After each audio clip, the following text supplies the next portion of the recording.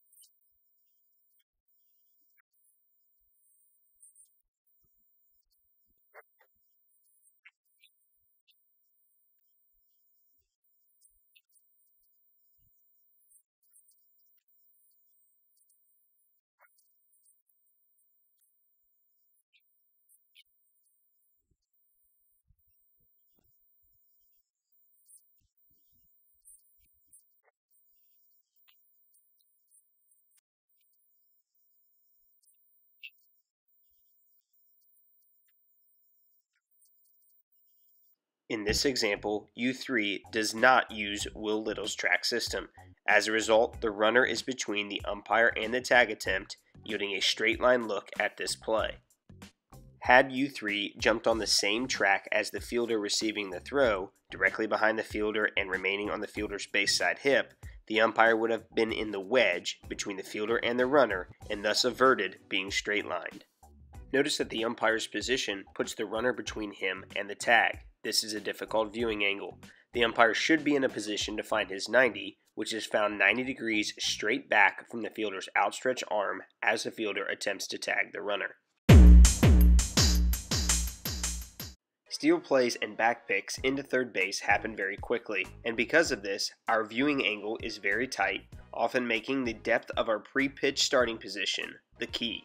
In the replay, notice how deep U3 is in his pre-pitch starting position, while he is able to take six steps to position into the developing play, think about how much better of a wedge position he may have been able to achieve had he shortened up his pre-pitch starting position.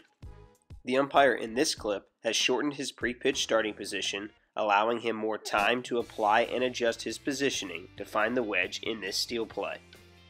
On back picks and steal plays at third base, it is likely the fielder receiving the throw will straddle the base. If you remember, at first base, Will Little instructs that if the fielder is straddling first base on back picks, we must jump on the top side. If we apply the topside theory across the diamond at third base, notice that this would likely result in trying to view the play through the fielder, placing the fielder between the umpire and the tag attempt. Therefore, for steal plays and back picks at third base, the inverse of Will Little's prescription is likely to be true, meaning that the best possible wedge look would be on the low side of third base. As such, it is imperative that we take a pre pitch starting position that allows us to position more effectively given the tight angles and quick developing nature of steal plays and back picks at third base.